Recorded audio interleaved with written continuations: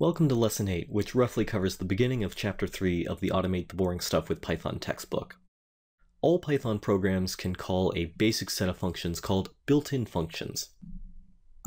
These include the print function, input, and length, which you've seen before.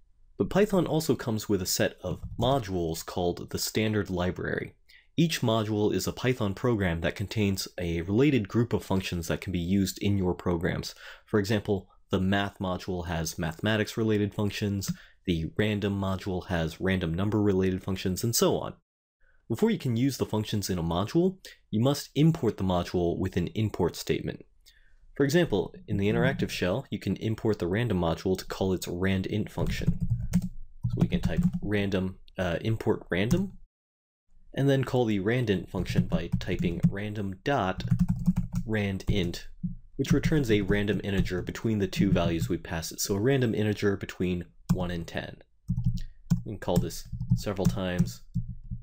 It'll keep returning some random integer between 1 and 10.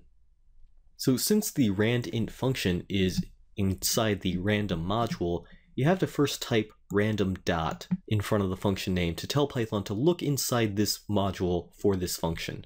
Randint isn't a built-in function. It only exists inside the random module, which is why you have to have the module name in front of it when you call it.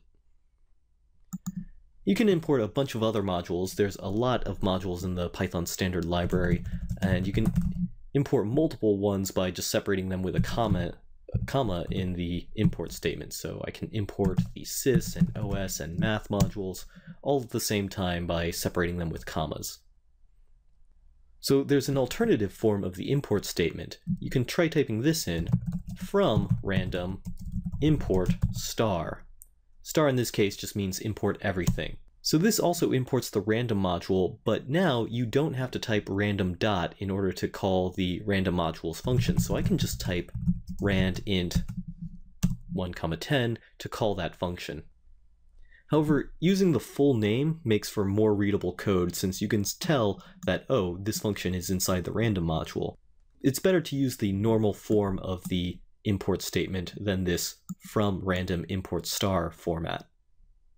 And the last flow control concept we're going to cover is how to terminate a program early. This always happens if the program execution reaches the bottom of the instructions, but sometimes you want it to stop before that. So you can do this by calling the sys.exit function. First you would have to import sys and then call sys.exit. Of course that doesn't really do anything in the, in the interactive shell, so let's open up a new file editor by clicking on File, New File.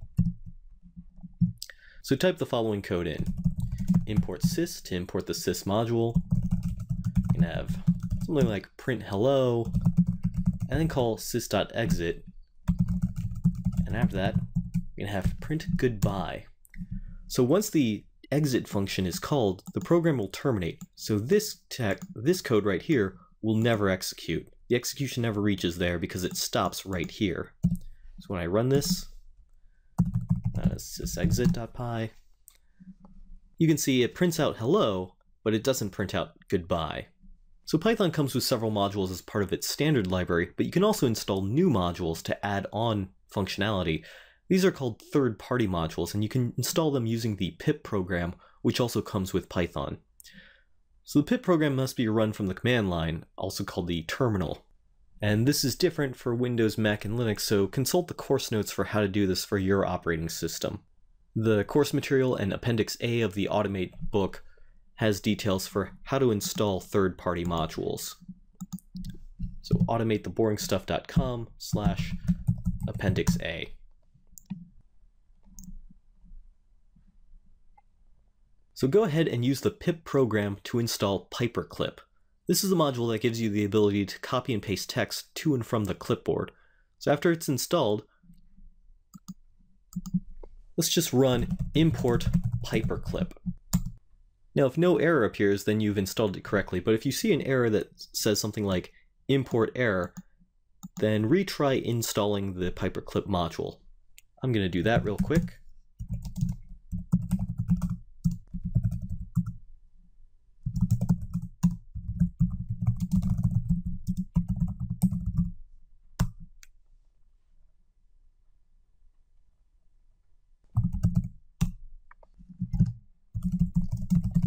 Try importing it again.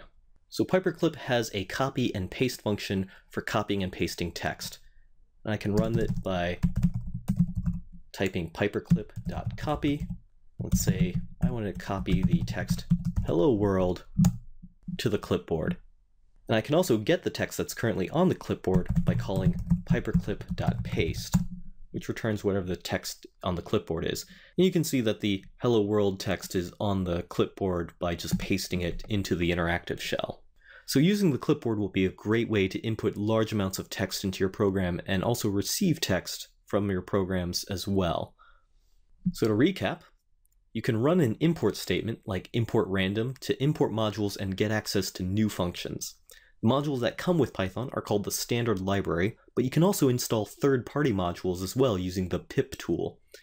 The sys.exit function will immediately quit your program, and the Pyperclip third-party module has copy and paste functions for reading and writing text to the clipboard. We're going to be using the Pyperclip module a lot in this course.